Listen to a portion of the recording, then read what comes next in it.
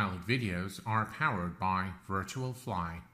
Hello there friends and followers and welcome to this Navigraph Cloud Maps video.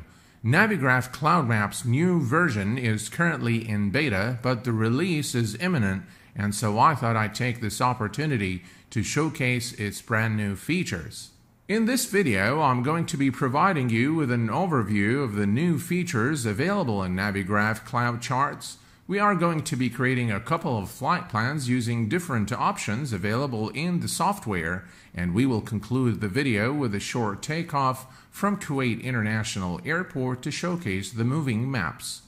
The user interface of Navigraph Cloud Charts has been revamped to be more user-friendly.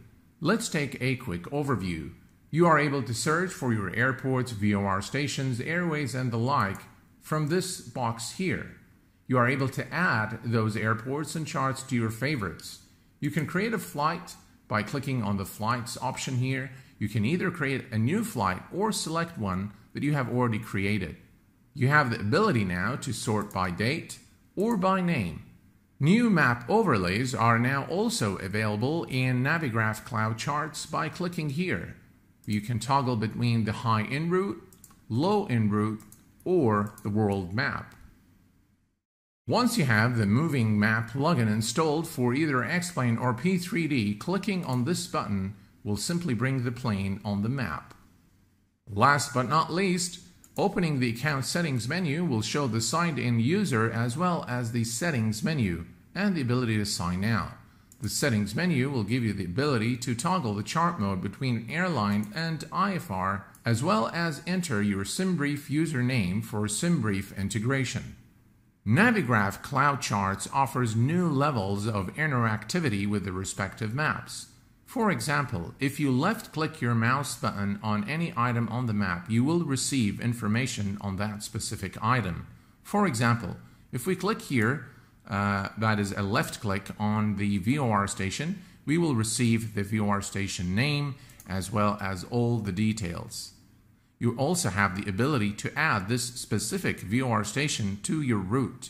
If, for example, you click on this holding pattern here, you will receive information on that specific holding pattern, the minimum altitude, maximum altitude, holding speed, leg time, inbound holding course, and so on and so forth. Right-clicking your mouse anywhere on the map will provide you with specific information on a specific radius. For example, this radius contains all these search results. By clicking on any segment or airway in Navigraph Cloud Charts, you are able to receive information on that specific segment. For example, in this segment, Bravo 417, we have the fixes from Kuwait VOR to Alvex. The distance is 24 nautical miles. You have the minimum and the maximum altitudes for this segment. By clicking on the Fixes tab here, you will receive information on the two fixes in this segment. It is time for us now to dig a little deeper and take a look at more features available in Navigraph Cloud Charts. We're going to head over to the search box here and select Oscar Kilo Bravo Kilo, which is Kuwait International Airport. As you can see here, we have uh, Kuwait International as the first result, and by clicking on a search result, you will receive the information card over here. As you can see, we have the general information, available runways at the airport, as well as the communication frequencies. You also have the option of adding this airport to a new flight. By clicking on the charts icon here, you will have access to all the available charts at Kuwait International. You can further cycle through the available charts for approach, taxi, SIDS, and the reference by clicking on the reference tabs here. One of the brilliant features in the new Navigraph Cloud Charts is the ability to do chart overlay on the en route map. For example, if we click here, as you can see now we have the chart overlaid on the actual map. You can decrease the opacity or increase the opacity and you can pin the chart if you like and you can of course display in windowed mode which of course will take you to the actual chart. One of the nice features in Navigraph Cloud Charts is the ability to show a visual overview of the selected tab. For example, if we click on the SIDS here and click on Show Visual Overview, as you can see now we have a visual overview of all the available SIDS at Kuwait International, as well as an overview of all the departing runways.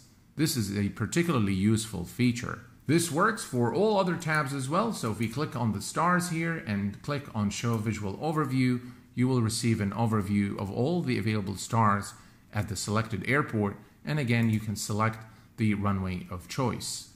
Let us now create a flight plan using Navigraph Cloud Charts. We're going to click on Flights and select New Flight. We're going to choose Manual Input. Origin Airport is Oscar Kilo Bravo Kilo. That's Kuwait International. Destination airport is Dubai International, which is Oscar Mike Delta Bravo. And we're going to use the auto generate my route. And we're going to click on create.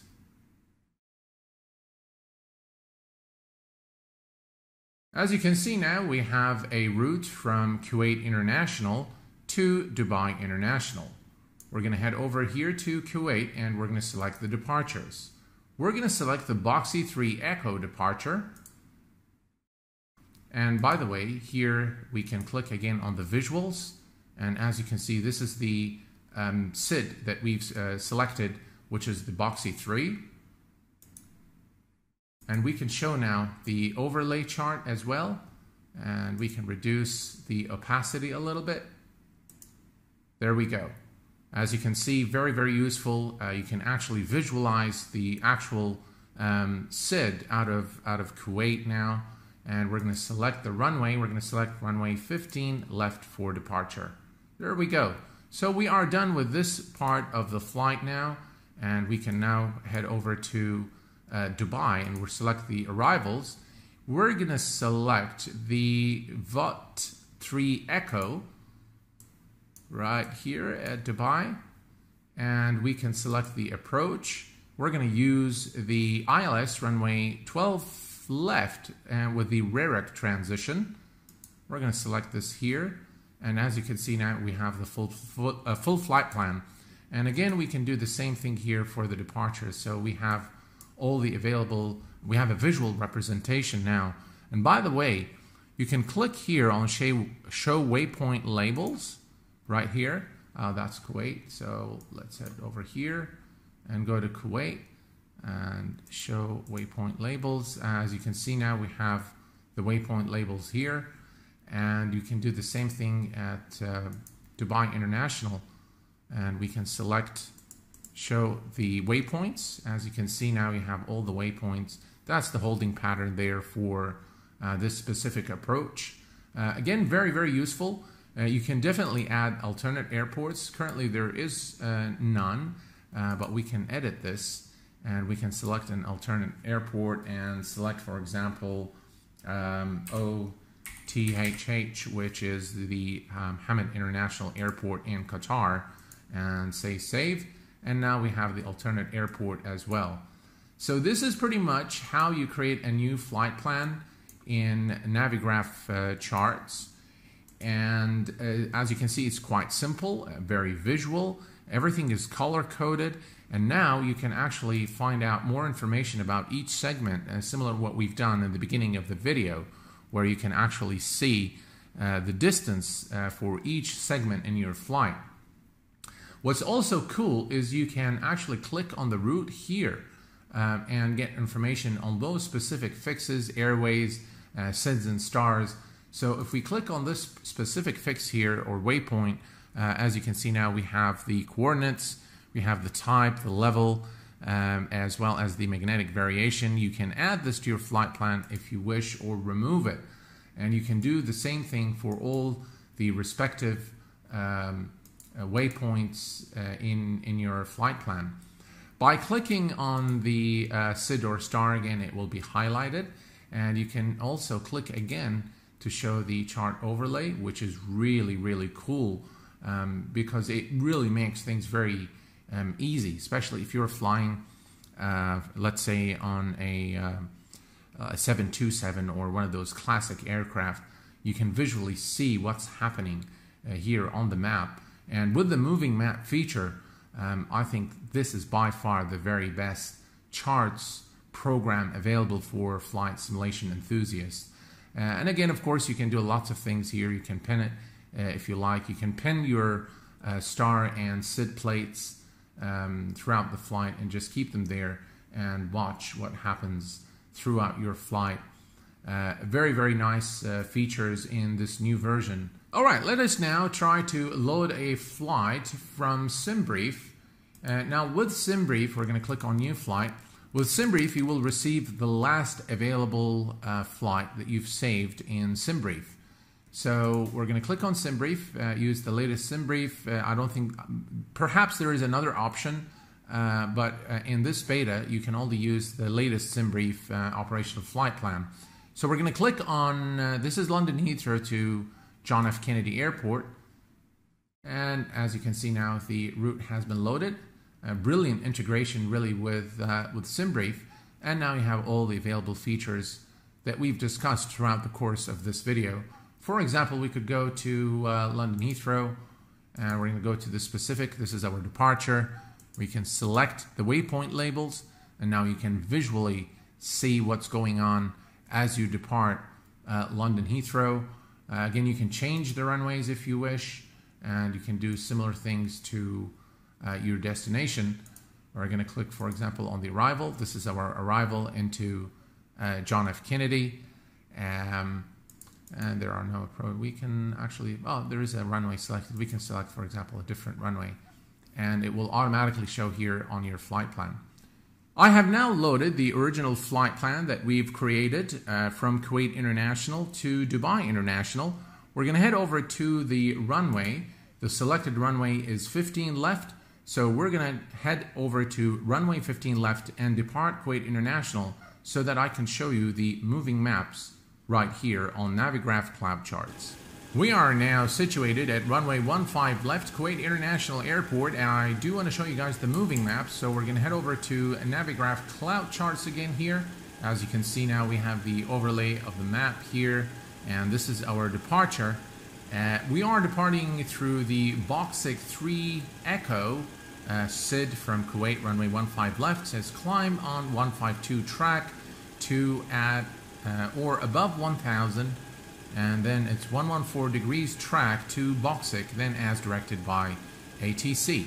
Okay, let's head over back here and make sure that we have the heading bug set to 152 degrees and we're gonna make a left turn uh, after departure. Okay, let's release the parking brake and let's go.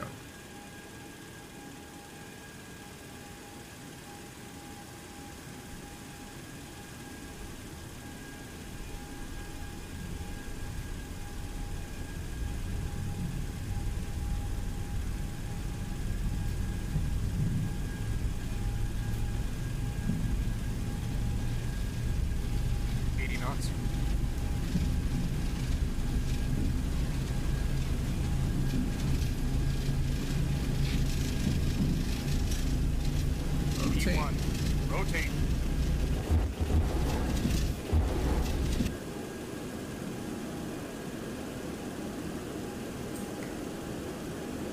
Pause the brake, gears going up.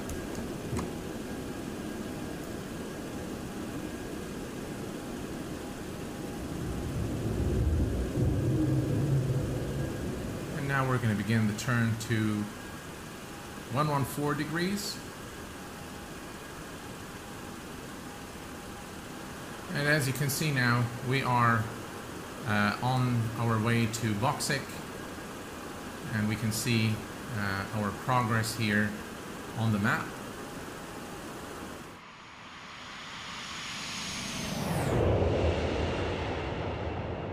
Well folks, this pretty much brings us to the conclusion of our video today. I hope that this was a useful and insightful video on Navigraph Cloud Charts.